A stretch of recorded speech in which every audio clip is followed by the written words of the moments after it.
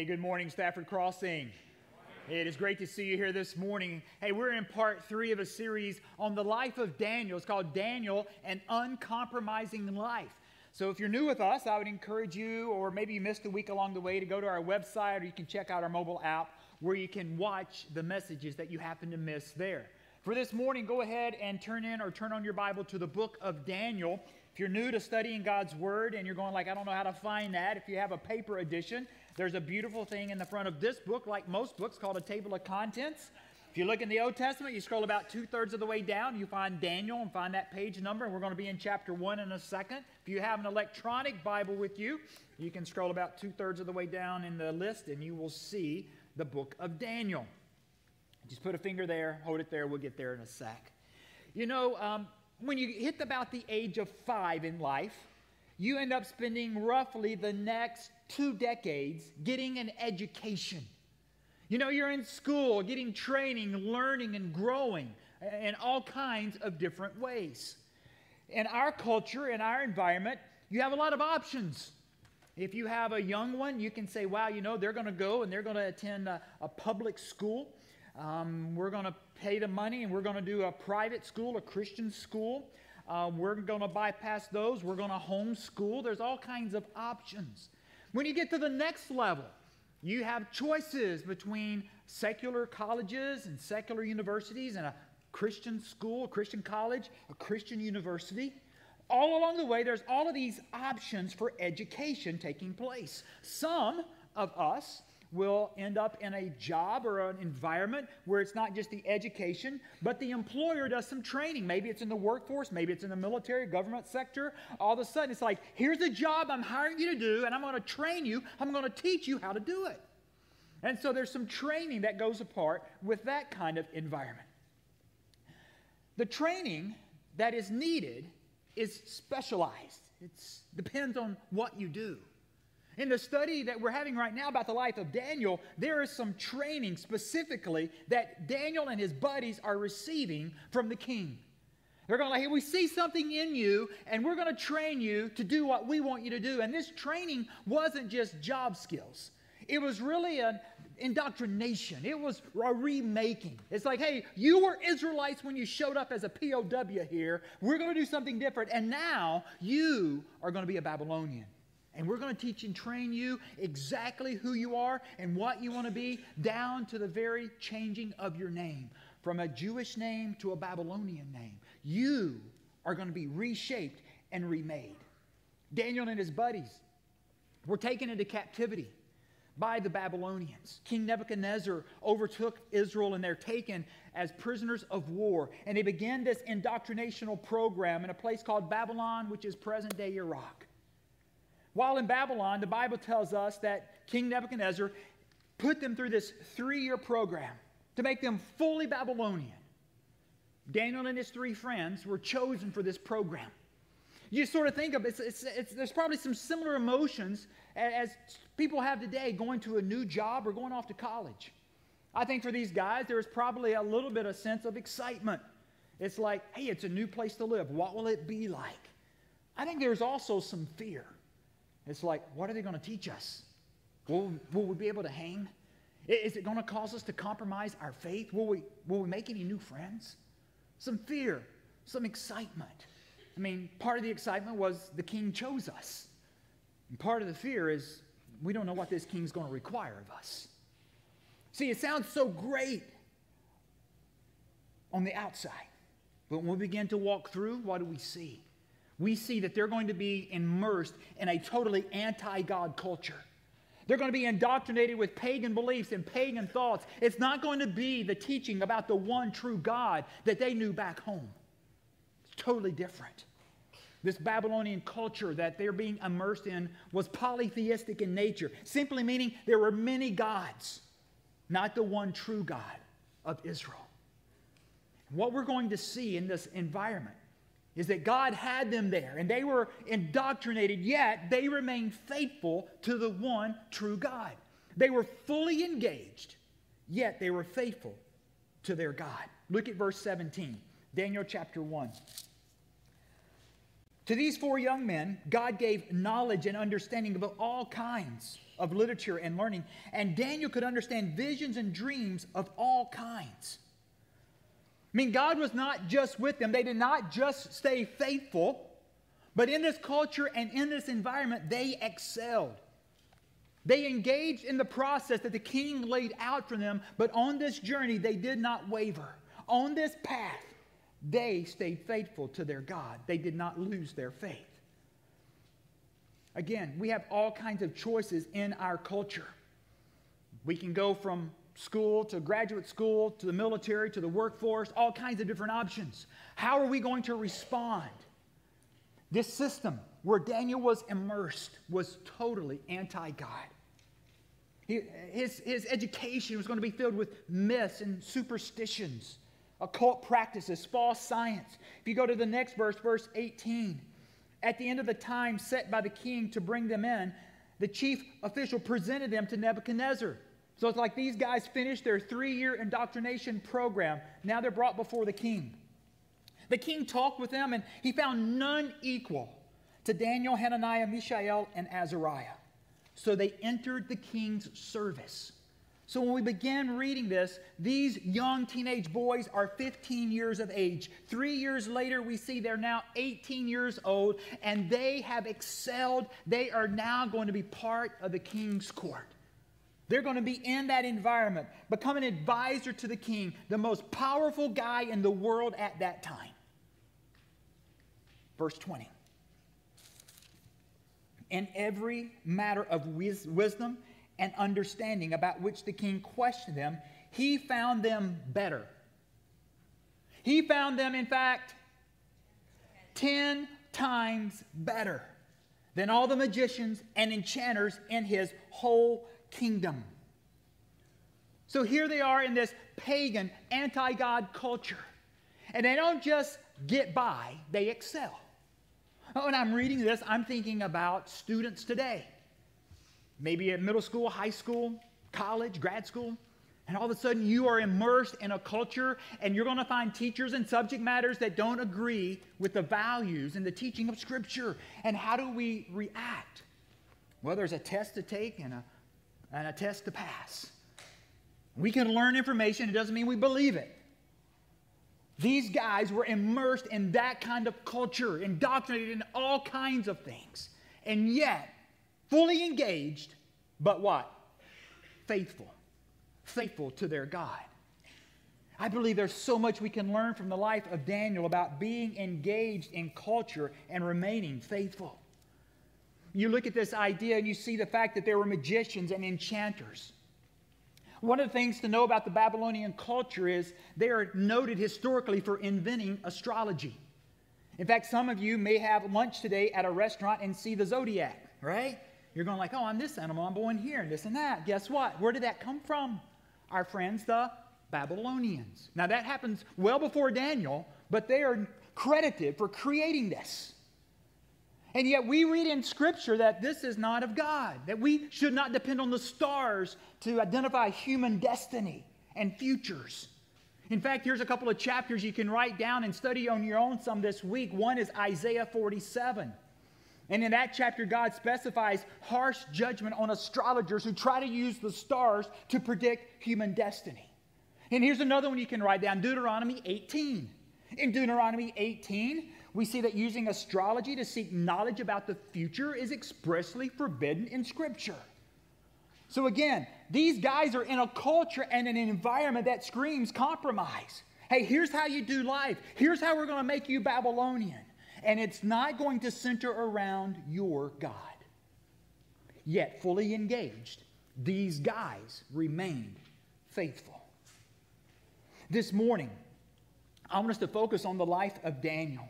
And whether you're a student or whether you are in the workforce or whether you're a stay at home parent, I want us to understand how, and, and, and try to grasp how can we learn what culture wants to teach us and remain faithful? How can we live and engage in the world that we live in and not cave?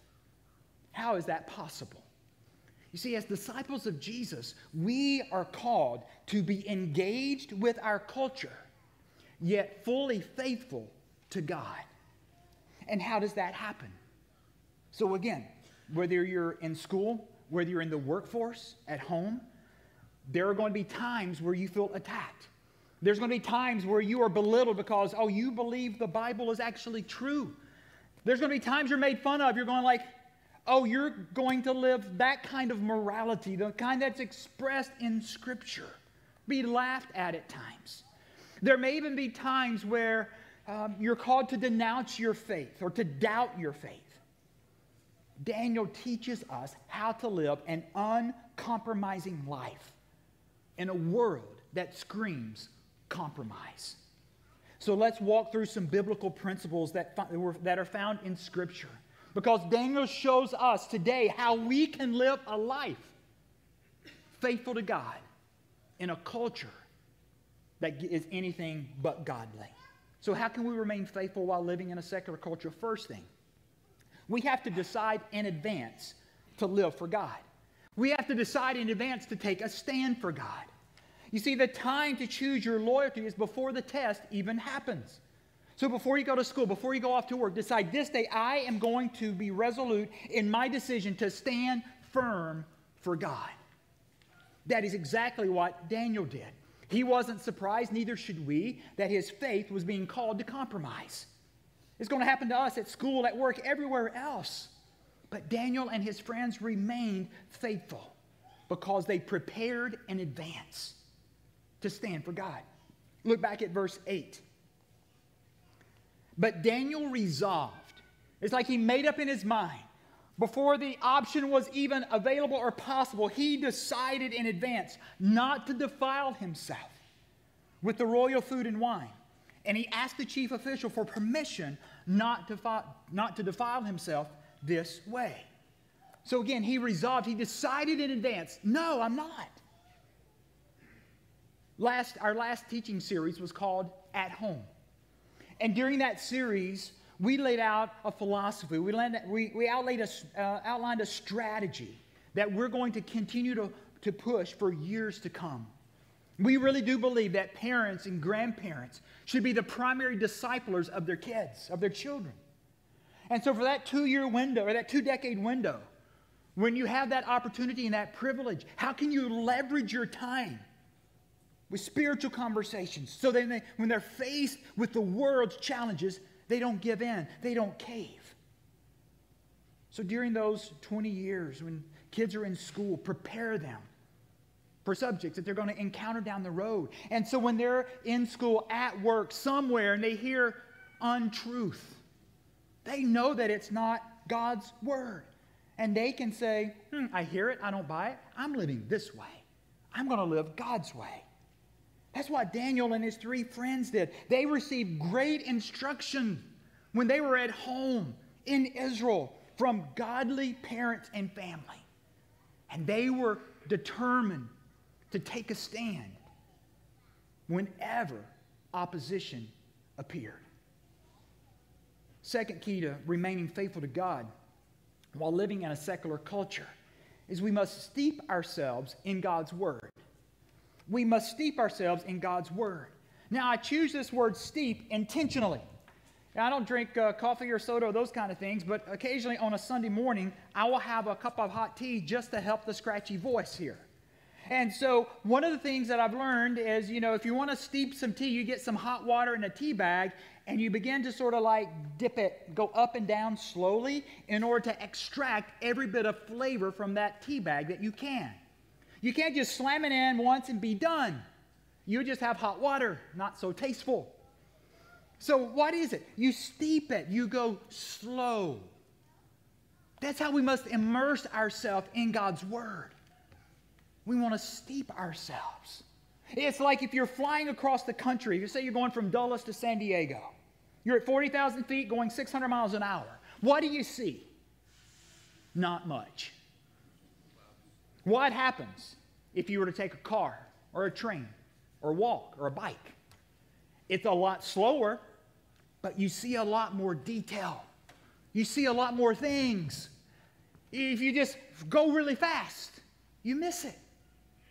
That's why we must steep ourselves in God's Word. It is a slow process of taking a deep, rich look at His holy Word. If we're going to live in a culture and remain faithful, we've got to be immersed, steeped in God's holy Word. Yes, we can take a stand, but to take a stand on His truth, we've got to know His Word. There's a situation, a time in the life of Israel where Joshua is assuming leadership from another leader named Moses. Joshua is going to eventually lead the children of Israel into the promised land. And as that transition in leadership is happening, God has some very direct words for Joshua about his leadership.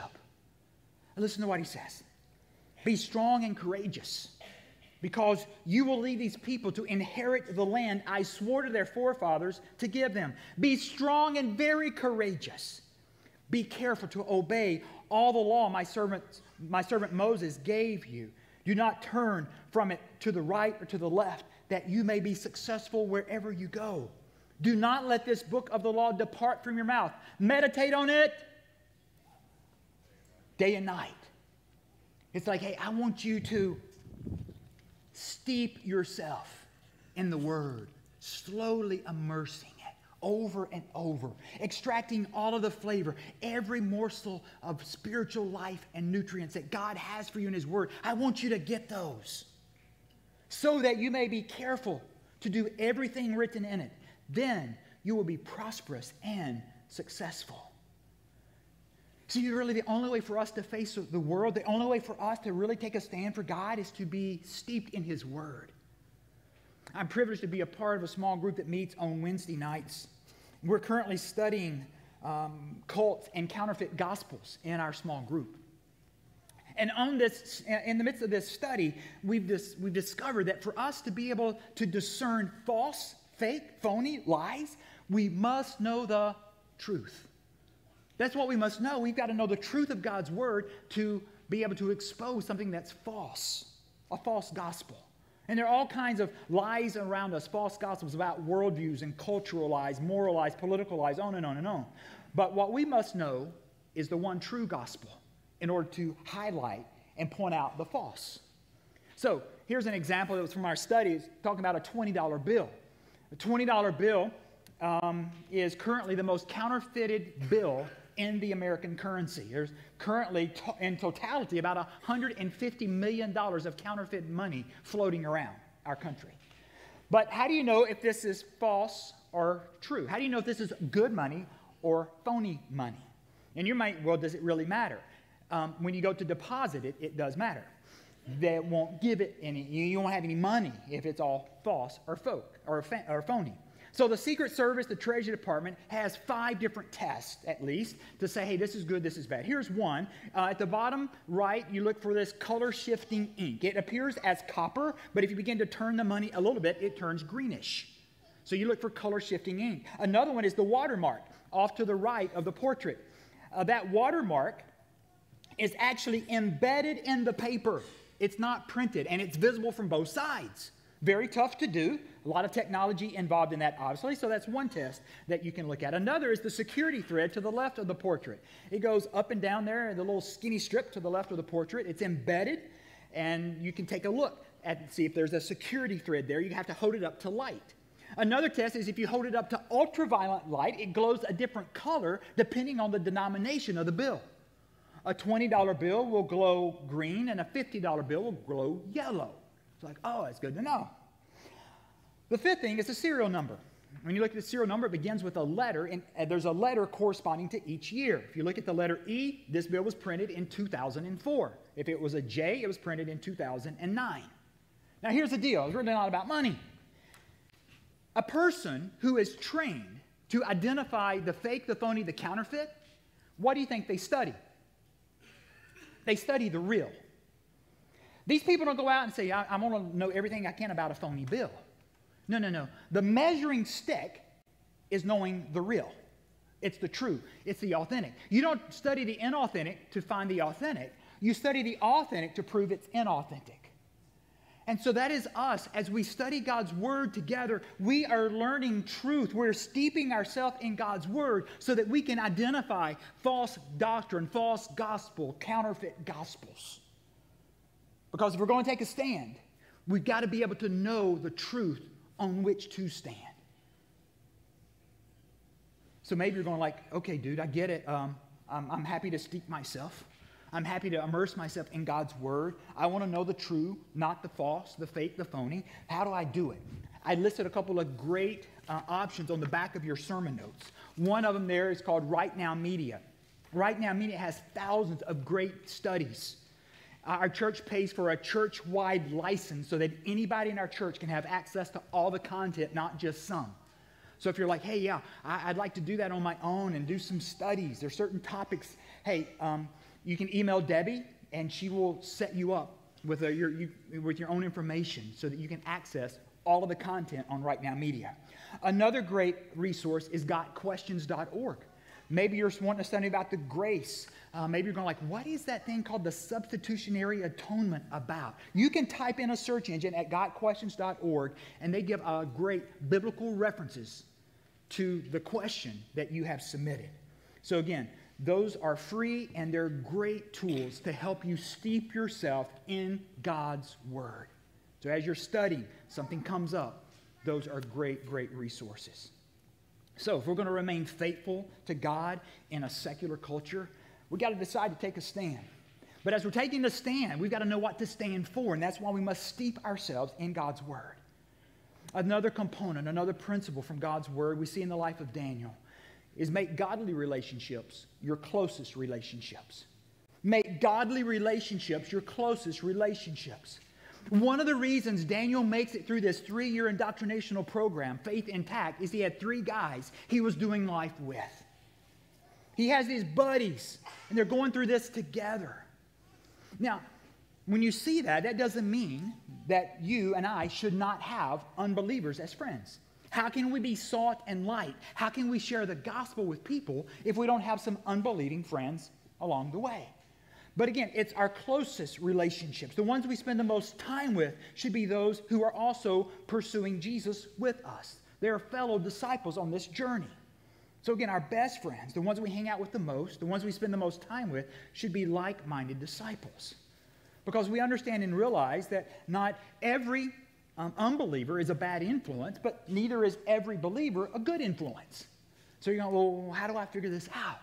You just ask your question, man, am I becoming more like Jesus hanging around this person? Am I becoming more and more like Christ by doing life with them? And then pursue those as your closest relationships. Paul tells the believers at Corinth do not be misled bad company re- corrupts good character. Again, the filter. Are the people I'm hanging out with the most helping me pursue Jesus? You see, in the context of a church, the best place for these godly relationships to happen are in, is in small groups.